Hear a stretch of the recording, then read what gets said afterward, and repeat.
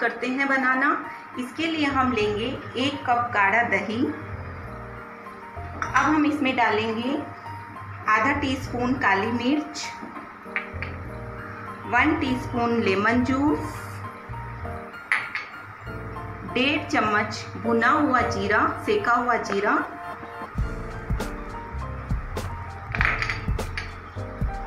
आधा चम्मच चाट मसाला एक चम्मच गरम मसाला, आधा चम्मच काला नमक।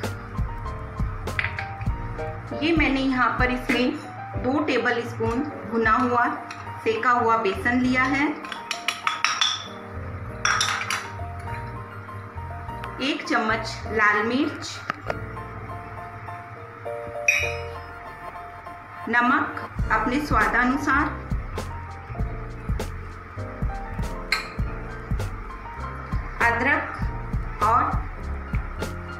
लहसुन का पेस्ट।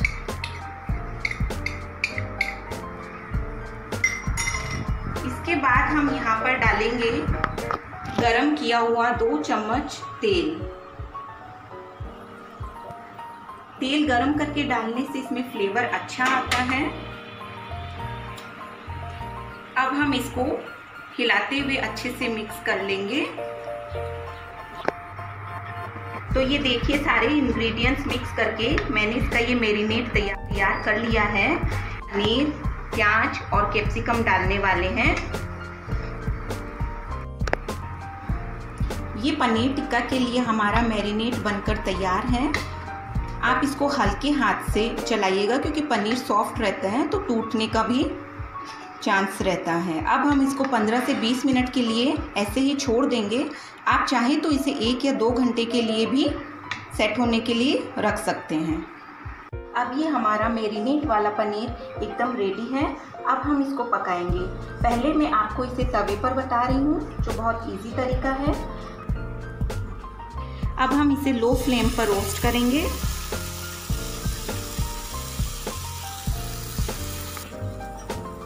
इसे ज़्यादा नहीं पकाना है। इसे पकाने के लिए हम घी या बटर का भी यूज़ कर सकते हैं। बटर का फ्लेवर ज़्यादा अच्छा आता है। ये हमने इसे लो फ्लेम पर रो, रोस्ट कर लिया है। पनीर को हमें ज़्यादा नहीं पकाना है। ज़्यादा पकाने से पनीर हार्ड हो जाता है। तो ये अभी हमारा पनीर टिक्का सर्व करने के लिए एकदम रेडी है।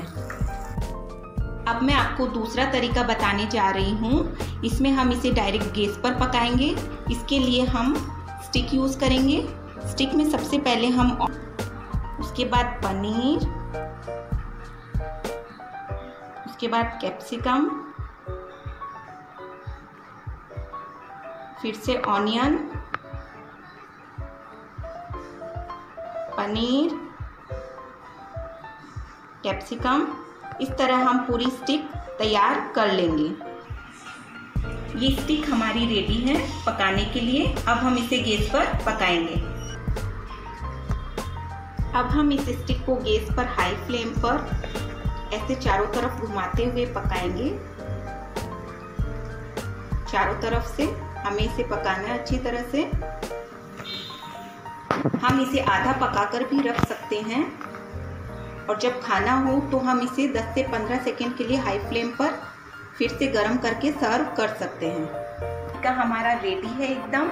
इसके साथ मैंने पुदीना और धनिया की मिक्स चटनी बनाई है, जो कि बहुत टेस्टी लगती है। तो आप ट्राई ज़रूर करिएगा। Thank you.